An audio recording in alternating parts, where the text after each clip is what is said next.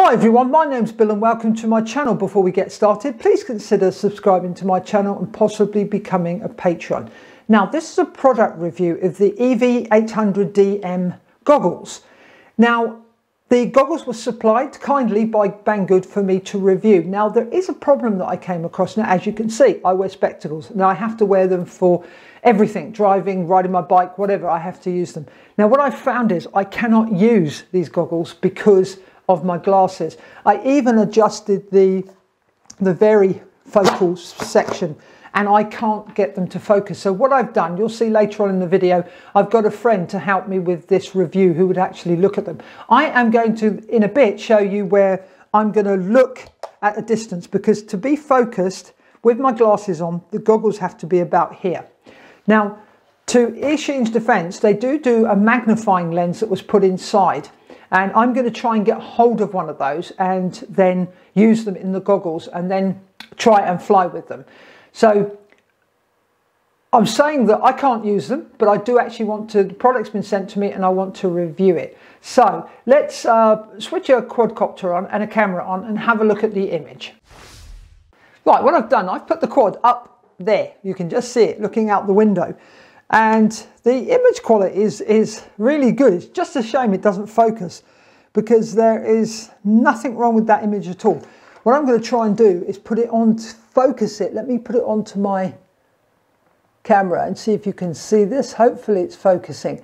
And you can see it's, it's, a, it's a very good image quality. Now let's take a look at the recorded DVR when I walk out of my house and into the sunlight. Let's take a look. There you can see I'm walking through my house. The picture quality looks good for inside the house. And let's see how quickly outside. I know this is not very scientific, but it gives you some idea of the image quality inside the goggles. I'm going to aim at the sky. I've got a very good camera in this quadcopter. And there we go. As you know, I'm not one for unboxes, so I've unboxed this and I've already set up the EV800DM. Now it comes with a uh, Omni and a patch antenna, as you can see, which I use for the test. On the top of the goggles here, we've got the menu button, we've got the power button, and we can change the band. Now if we go to the bottom, we have a search button. We've got our DC 5 volts in. We've got where we put our SD card and we've got headphones and V in. Um, and then we've got a pick and record. So we can push this button to record. The goggles as I showed you earlier slide out so that you can focus them. But as I've already explained that doesn't work for me. The battery it's got it's got an internal battery which is 2000 milliamp hour battery. So and it's three point let me just check the voltage it is 3.8 volts. Now, I charged it up. It didn't take long to charge up, but I haven't tested how long they actually last. I may do that test and then I'll uh, put up on the screen how long the battery did actually last. With the goggles, you get a charger. I can't use this one in South Africa because it's the wrong type. You get a, a video lead with a stereo jack at the end, 3.5 millimeter, and then you get your charging cable. The charging cable is uh, a USB cable with this connector here. Let me just get that to focus. So it doesn't come with uh, an XT30 or an XT60 lead so that you could plug your um, LiPo battery because it can be charged from 5 volts to 18 volts. So you could use uh, a 2 cell or a 4 cell battery to charge it, but you would need to make that lead up. Now the goggles have diversity and they've got raceband channels and 40 channels in all that they can receive. It has a 3 inch screen, the resolution is 900 by 600 and the aspect ratio is 4 to 3. The angle of view is horizontal 140 and vertical 120 and they're not they're not very heavy at all. They weigh uh, 320 grams. So they are quite light. They don't pull down on your face too much now let's switch over to our flying site. Now I asked Kevin, he's a founding member of the Model Flying Club, uh, if he would wear the goggles and give me some idea about them. He's never FPV'd before, but he's got a good, good set of eyes, better than mine, and you can listen to his uh, opinions about the goggle as I was flying my quad. Hi everyone, I'm now at the field. This is Kevin. He's one of the founding members of the St Helena Bay RC Flies and he's going to help me. As I explained earlier, there's a problem with me using these goggles because of my glasses. So Kevin's going to assist, uh, assist me with this. Uh, so thanks Kevin. Oh, great. That's great. Okay, let's suit up. Oh, more glasses. There we go. So what's the fit like, Kevin? Uh, fit is comfortable. There's a bit of light coming in under the under under the nose area. Is that? Yeah. But at the top and Uh, sides? But the top and sides are sealed, is well sealed. Okay. All right. I'm just checking my picture over. Flight mode angle. Okay, we're going to go this. Right, let's take off and then you can... Now let's pause there. My autofocus decided not to play ball with me. So I'm going to put up in the corner of the picture the DVR footage of me flying. But I'm still going to carry on with this video because I want you to hear what Kevin has to say about the goggles. So give me your opinions. And really, you're looking for any breakup in the picture.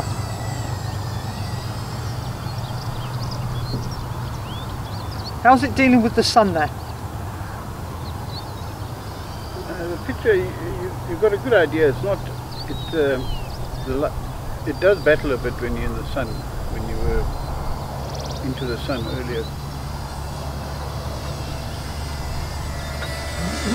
And I know you've never flown FPV before, but it was just to give me some idea of, you know, what the picture Yeah. in FPV isn't HD. You know, it is. Yeah, no, sure. It's not, pixel. Yeah, I think that's, a, that's you're right. It's, it's a, you've got a you've got a good a, a good you get a good idea of the ground you're covering, but Yes. it, it, but it's not like you say it's not HD. Any breakup? I'm not going to go too far but No, nothing. It's, the picture's been good up to now. Okay, that's great.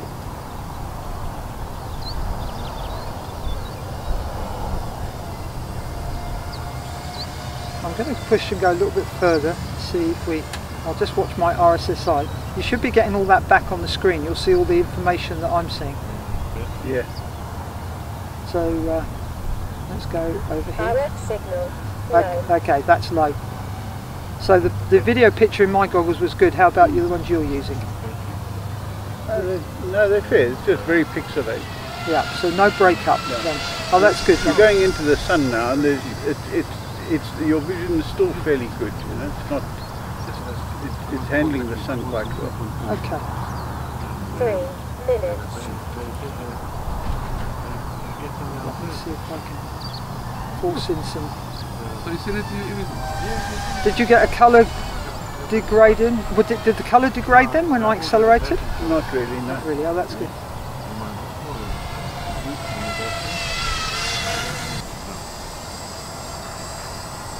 something like this. How about this? No. Something like this. How about this? No. Something like this. How about this? No. Something like this. How about this? Hello. Leave it all out. Do you feel that they would give you eye strain? I think after a while, yes. yeah. Yeah, that can be. That can be, um, you know, a, a problem you have to get used to when you're not used to guy, FPV. Yeah. First guy I met you. Two minutes. He one for the airplane, he took it down. Something like this. How about this?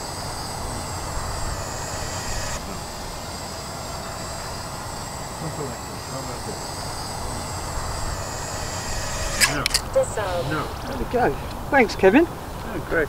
I appreciate that. So, Yeah, I think I could get used to it. You know, I think uh, at some stage I will get a, a drone yeah. and a, and a camera. And you, the, you, the focusing, it was only slightly out Yeah, of focus. yeah. So Yeah. it's it's usable. Yeah, it's usable. Could you see the telemetry? No, No, no. you couldn't see No, the telemetry no, numbers. no. Yeah, okay. That is the sort of problem I had. Yeah. Okay, that's great. Thanks, Kevin. Really appreciate it. No, great. Uh, Thank you very much. good. Now, in summary, they are easy to use. Uh, they have a built-in DVR, which is nice, and it seems to be quite a good quality one. They're, as I just mentioned, they're not too too heavy. Um, the price is reasonable, and you can buy the optical lenses to go inside, which really is a shame that uh, I didn't think of and see if I could have got hold of them before I did the review. But I must review it as you buy the goggles. And as I've already said, that is going to be a problem with me. I cannot use them with these glasses in any way whatsoever. So I would need those uh, that optical lenses to go inside. But if you had good eyesight, I'm sure these would be a, a good set of goggles. And when Kevin used them, uh, he said they, they were fine. Um,